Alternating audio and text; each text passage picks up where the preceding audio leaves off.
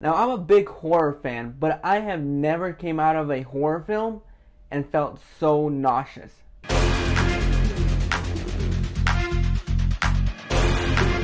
What's going on everybody? Today we're going to be talking a little bit about Terrifier 2, a film that I had zero anticipation up until I saw the first one. I have a review of that first one on the channel, so I'm going to link it down in the description below.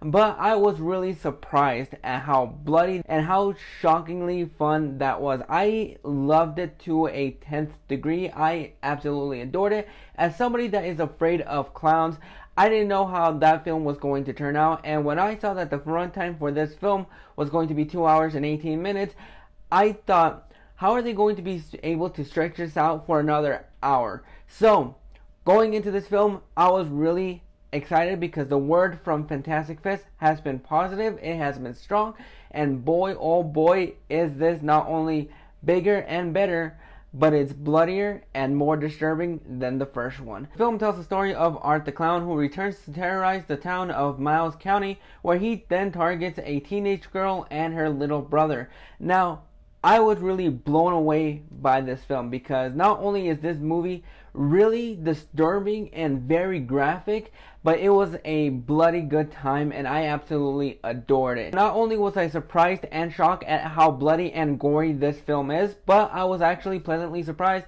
by the fact that this film actually managed to be fun and keep the same tone that we had with the first film because this is a sadistic clown that just loves killing for fun. He doesn't give a fuck who is in his way. He just goes out and terrorizes whoever he sees. Not only do they make this film very creative and a lot of fun, there are a lot of moments in this film where I actually had to turn away. And it's very hard for a horror film to do that because sometimes it's not really all that gory, it's not all that bloody, it's not really all that traumatizing, but then sometimes there are moments here and there where you have a horror film where it is actually really bloody and really gory that it's really hard for you to look at what's actually happening on screen and that happens multiple times in this film. The way that they use the practical effects in this film actually work to a degree. There are moments in this film where you do feel like you are seeing a puppet getting killed on screen and sometimes the effects don't work but when they do they are very effective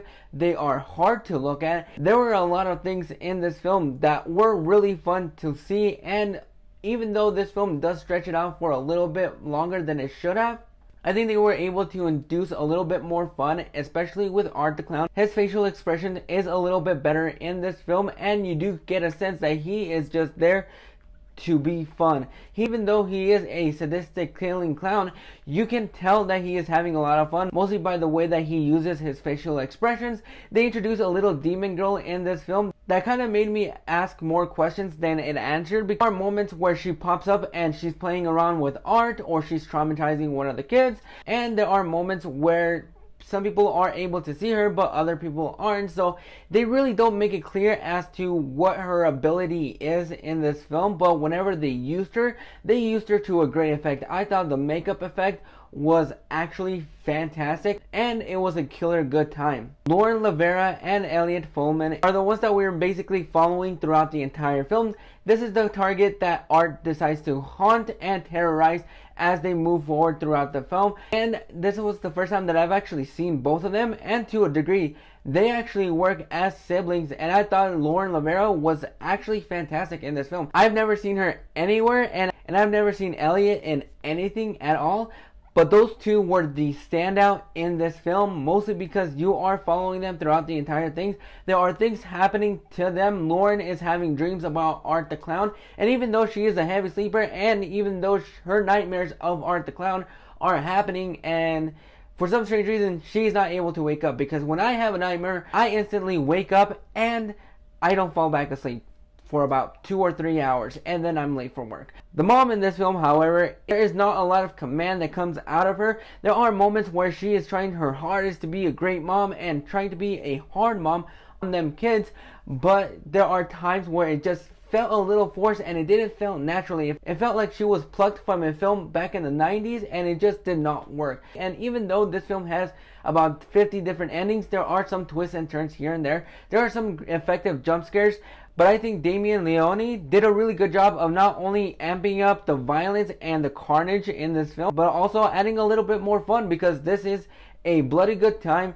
The runtime does get a little bit extensive. I think you could have shoved out about 10 minutes, 10 15 minutes out of this film. The ending of this film kind of does say disservice to what happens in the entire film because there are things that happen towards the end that I wasn't a big fan of. There are choices that happen and I it kind of took away from what's actually happening because this is grounded in reality. You feel it when it's happening. You feel the kills everything about this film is bloody and and hyped to a certain degree but there are moments in this film that had creative choices that I was not a fan of. There are things that you could have plucked in and out of this film. But I think this is a bloody good time. I've never come out of a film nauseous, but this film definitely made me feel extremely nauseous. And now I'm going to jump into bed and have nightmares of Art the Clown. Overall, I'm going to go ahead and recommend Terrifier 2. This was a bloody good time. As somebody that watched the first one and had a lot of fun, I didn't know what this film was going to entail. The runtime did worry me a little bit, and to a degree, it still worries me. But up until we get to that ending of the film, I think everything is a lot of fun. The kills are great, the carnage, the gore, the blood, the practical effects, the jump scares when you need them, we're all there, and I think this is a fun horror film for the Halloween season. Those are my thoughts on Terrifier 2. Have you guys checked it out? Go ahead and drop your thoughts in the comments below. While you're here, go ahead and click that like and subscribe button so you don't miss out on more videos. Click that bell notification so you get notified every single time that a video pops up. And I'll catch you guys on the flip side.